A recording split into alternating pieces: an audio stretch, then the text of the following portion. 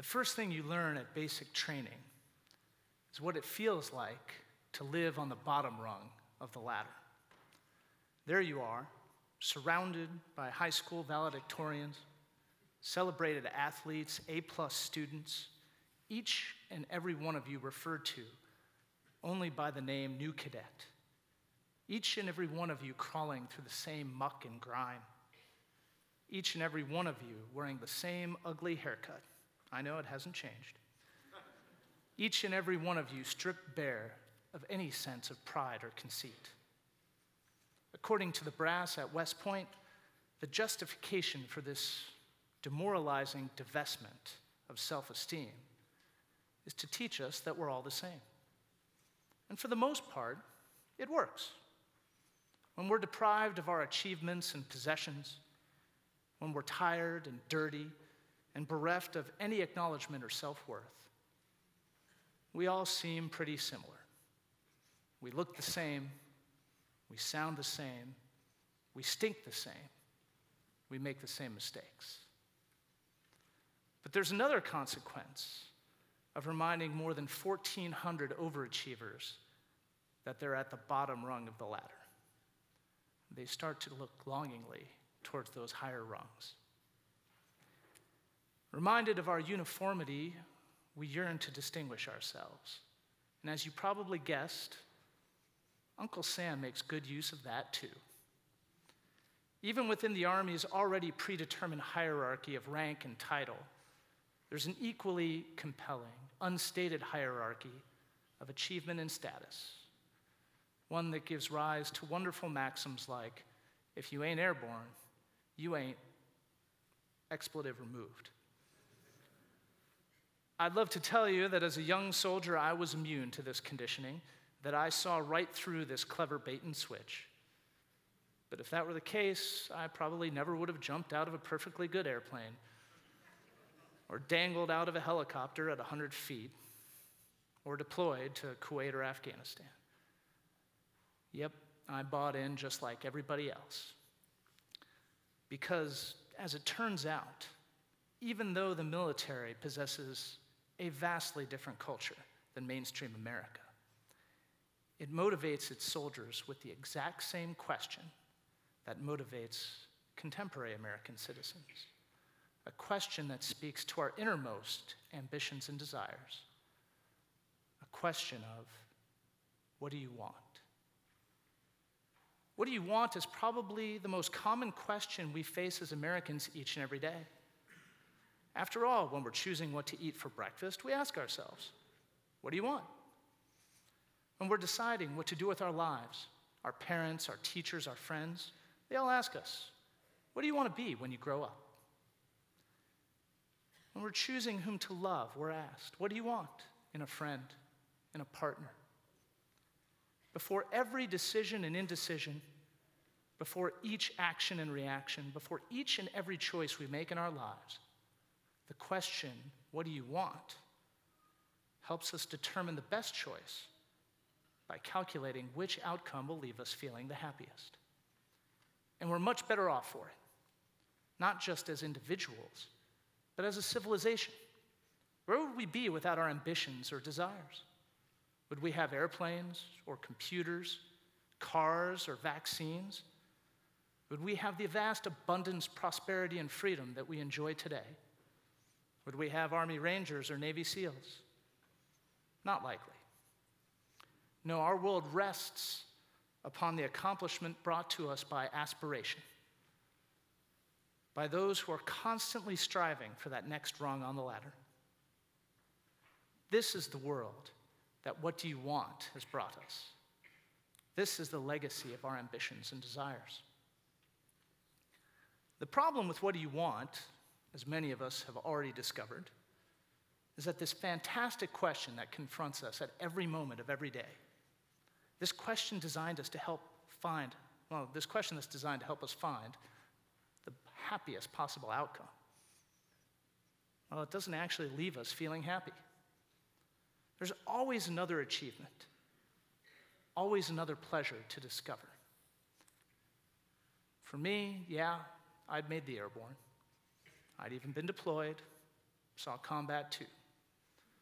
But what about Jumpmaster? What about Ranger School? What about the Special Forces? And the trick to the Army is that there was always another rung on the ladder to keep you hooked. At the end of the day, asking and answering the question, What do you want? can bring us gratification, but it cannot bring us contentment. Respect, status, food, compliments, clothing, cars, all of these offer us joy, but only for a limited time.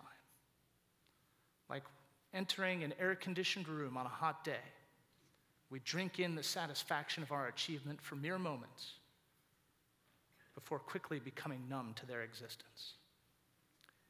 And to make matters worse, in an age of increasingly persistent comparisons, when merchants flood our mailboxes and our televisions with an endless stream of goods and services, when acquaintances inundate our phones and our social media streams with a limitless catalog of parties, vacations, carefully curated selfie catalogs, and celebrity status notifications, achieving our heart's desires seems to last less and less.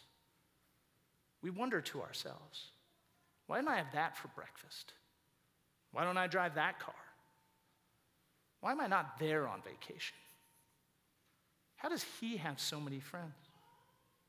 How does she look so good? How did they achieve so much? One by one, we become aware of each and every rung we have yet to grasp on the ladder of our desires, and we churn with dissatisfaction. But we're not alone. According to recent surveys by, funded by the National Science Foundation, less than one third of all Americans would describe themselves as happy. Our pursuit of happiness has left us less and less satisfied, leading us to become the most in debt, obese, addicted, and medicated adult cohort in United States history. It's pretty ironic, really. We live in the freest, wealthiest, most prosperous society in the history of human civilization. We can be nearly anything we want. We can do nearly anything we want. We can go nearly anything we want. We can have nearly anything we want. And yet, we remain unfulfilled, discontented, disappointed even the toys we wish to buy, the successes we wish to achieve, even the respect we wish to earn. The joy it once brought us has long since vanished, leaving us panting as we reach for that next rung. This too is the world that What Do You Want has brought us. This too is the legacy of our satisfaction and desires. Are we destined then to remain bound by desire and ambition? Are our lives nothing more than an endless quest for satisfaction, fated to leave us clutching for that last rung on the ladder? No, says Judaism. Our tradition teaches that within each one of us rests a unique gift, a singular piece of the divine light sown throughout the universe, and that our sacred task, the purpose for which we were placed in these mortal shells is to release that light, to bestow our gift upon the world. The fulfillment of that task, our sages tell us, will bring the contentment of our souls and a lasting happiness that will nourish us throughout our entire lives. So, how do we do it? How do we, creatures of flesh and blood, preoccupied by desire and ambition, find lasting happiness? How do we unearth and contribute our unique gifts to the world? Well, as we might imagine, Judaism has something to say about that too. And it says that we begin by asking ourselves a new question, one that's just as important to our happiness as what do you want? The Hasidim tell a story about the great 18th century ah, pardon me, They tell a story about the great 18th century scholar, Rabbi Zalman, who was jailed in St. Petersburg for his beliefs. While the Rebbe awaited trial, the chief of police entered his cell and asked him, Rabbi, after Adam, the first human being, eats of the forbidden fruit, he hides in the Garden of Eden. When God enters the garden, God asks, Ayeka, where are you? Rabbi, why would God ask that question? Shouldn't God, all knowing, all seeing, all powerful, know where Adam is hiding? The Rebbe leaned in and said softly, We Jews believe that the Torah is just as meaningful for us today as it was when it was written. Will you accept that your answer might depend on this? The police chief nodded gruffly, said, Sure, go ahead. Well, then, said Reb Zalman, the answer to your inquiry is that God isn't asking where Adam is, God is asking where you are. So, where are you? In every era, in every age, God calls to each of us, Where are you? Not because God is ignorant, but because God knows that in fact we have misplaced ourselves. So many days, so many years, so many decisions and indecisions, so many successes, so many failures, and where have they brought us? Where are you? It's a question that cultivates ideals rather than satisfaction or achievements. A question that nurtures character rather than desire. Unlike what do you want, which asks us what we can get out of life, where are you is far more concerned with what life is asking of us and with what we can give our loved ones, our community, and our world. Where are you demands to know in each and every decision that we make where is the person that we're striving to be? Where are the virtues that we claim define our character? The renowned columnist and author David Brooks suggests that we can live our lives according to two sets of virtues, each inspired by one of these two essential questions. Our resume virtues inspired by the question, What do you want? catalog our accomplishments, the skills we bring to the marketplace, the possessions and featured experiences we share with our friends or share online, the diplomas and plaques that bear our names. On the other hand, the eulogy virtues, inspired by the question, Where are you? Those are the virtues that people talk about at funerals kindness, bravery, honesty, faithfulness, deep and abiding love. We all know that our eulogy virtues are more important than our resume virtues. But our culture, our educational system, even our biologies, focus far more upon teaching us the skills we need to cultivate our resumes than to write our eulogies. We're more skilled at building our professional, academic, and social CVs than we are at writing what will be our obituary. But if we teach ourselves to ask, Where are you? at every available opportunity, then our eulogy virtues can begin to define our character and help us radiate our inner light. We're blessed to live in Los Angeles, not just because it's a temperate paradise, but also because it's home to some of the greatest storytellers in human history.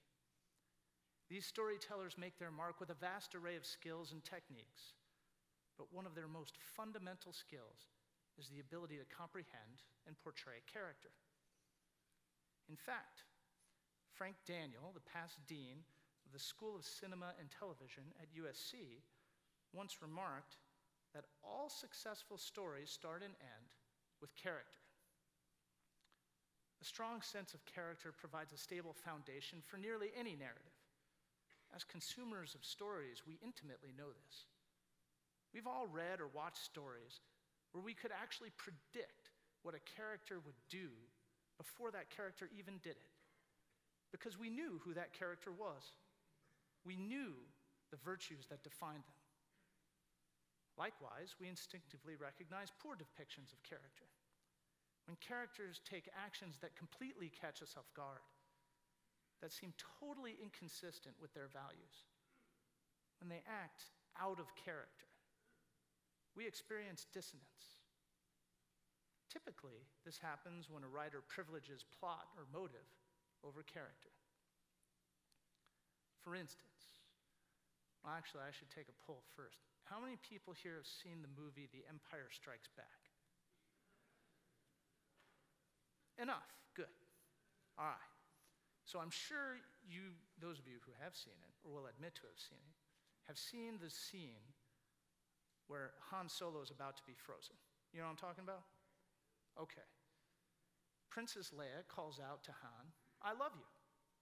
And he looks at her sorrowfully and says, I know. It's the perfect Han Solo response because that's exactly what someone like Han Solo would do. Except it wasn't actually supposed to happen. Since we're living in LA, I'm going to assume that probably a lot of you already know this, but for those of you who don't, the script actually told Harrison Ford to respond to Carrie Fisher by saying, I love you too. But Ford, who knew his character so well, knew that the response was out of character. And so he changed the line on the set. And thus, instead of a contrived sense of schmaltz, we got one of the best scenes in popular film. That's the power of character. And that's the power of asking ourselves, where are you? In a similar vein, when Moses descends from Mount Sinai and discovers that the people have made a golden calf, God offers to wipe out the people of Israel and start over with a new people with Moses as the progenitor. Now, I don't actually have to tell you what happens, do I? For any of you who haven't read the story, you probably already know, because we know what type of person Moses is. We know that Moses is humble. We know that Moses is compassionate. And we know that above all, Moses cares deeply about his charge, the people of Israel. That's the power of character. And that's the power of asking ourselves, where are you? When God approaches Moses, Moses doesn't ask himself, well, what do I really want in this situation? Instead, Moses asks himself, where am I in this decision? What would someone with my values, with my virtues do?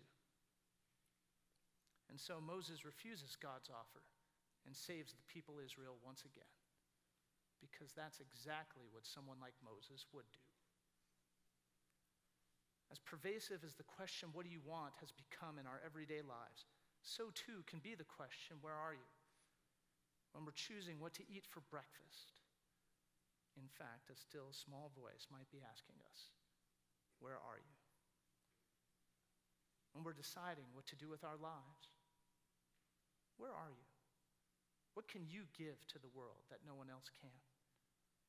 When we're choosing whom to love, where are you? Who are the people who are going to help you be the very best version of yourself? For every decision and indecision, before each action and reaction, before each and every choice we make in our lives, where are you demands to know do our deeds align with our most important virtues? Do our actions reflect our character, the type of person we want to be?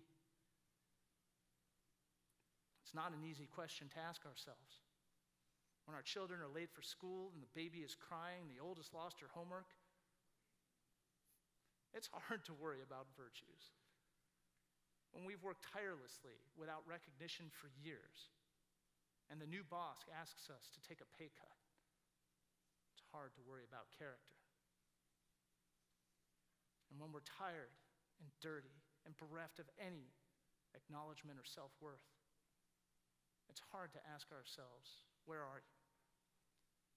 And yet, if we wish to author the greatest story of our lives, if we wish to bring our unique gifts into the world, then we must find a way. My senior roommate, Jeff Biggs, wasn't airborne or ranger qualified. He'd never been to the Q course or sapper school. In truth, he didn't have much on his Army resume at all. While the rest of us chased every school we could find, looking for another badge to sew on our chests, Jeff just did his work. That was all right by Jeff. He was a quiet man, and accolades never seemed to really pique his interest. But man, you always wanted Jeff on your team. Always on time, always prepared, always pitching in, always ready to help, whether you were writing reports or moving furniture. In fact, Jeff was late to his own birthday party once because he was busy helping out his classmates prepare a report. Of course, he was late because that's exactly what someone like Jeff would do. At the end of our military coursework at West Point, we had a graduation ceremony where the commandant of the school awarded a citation to the best overall leader in the class. When the time came to announce the coveted leadership award, he didn't call out the name of our class president or even the top student. He called out the name of Jeff Biggs. A leader of character, the commandant said, rarely seeks or receives recognition. He finds it only in the satisfaction he receives from knowing that he did the very best job of staying true to his virtues. Today, we look back upon the past year to examine the story of our lives. Will we read about a masterfully portrayed character? One whose values and virtues dictated her actions? One whose decisions and indecisions, whose actions and reactions, whose choices were eminently predictable? Or will our story meander? Will we shudder, aghast at the dissonance we experience, as time and again we privilege desire over virtue, resume over eulogy, motive over character. These days of awe call upon us to make tshuva, to return to the path that we have so assiduously strayed from. One of our sages, Rabbi Yitzchak, suggests that in order to return, we must make two changes in our lives shinui maaseh, a change in our deeds, and shinui Hashem, a change in our names. It's not enough, Rabbi Yitzchak tells us, to return to a life filled with good works. Rather, we must rediscover ourselves and become the person that we were always meant to be. This year, may our lives be guided by what we wish to read in our eulogies, just as much as by what we wish to read in our resumes. This year, may our choices inspire us to ask, Where are you? as readily as we ask, What do you want? This year, may the protagonist of our stories be guided more by character than by motive. This year, may we stop clutching for one more rung on the ladder and enjoy the happiness that comes from rediscovering ourselves and from bestowing our unique gifts upon the world. Then shall we truly inscribe ourselves in the book of life and happiness. Ken Yehiratzon. May this be God's will. Shana Tova.